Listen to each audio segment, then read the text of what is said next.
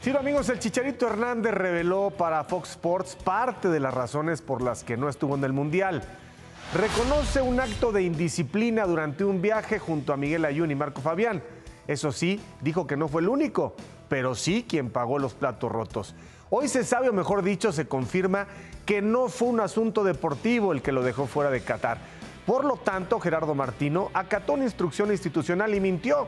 El técnico argentino, como decimos en México, apechugó, pese a que repitió siempre y hasta el cansancio que dejar fuera de Qatar al delantero era solamente una decisión suya y de nadie más.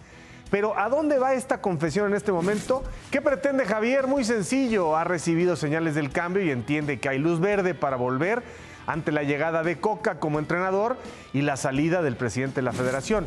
Javier sueña con estar en el próximo ciclo y jugar al Mundial del 2026, atención, con entonces 38 años recién cumplidos. ¿Será? Se ve difícil, pero si hay alguien a quien la voluntad ha remolcado, aunque muchos no le den crédito, ese es y se llama Javier Hernández, el goleador histórico de la selección mexicana. Grillo, víctima, héroe, muchas facetas y muchos récords también, pero cuando habla, todo mundo escucha. Javier Aguirre es el entrenador mexicano con mayor proyección internacional en la historia. Salió de su zona de confort y fue a Europa y generalmente ha logrado elevar el nivel de los equipos a los que ha dirigido.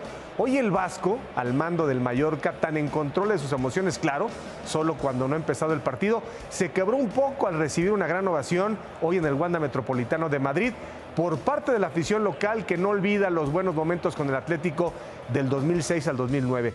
Así se sorprendió y reaccionó cuando el sonido local anunció su nombre.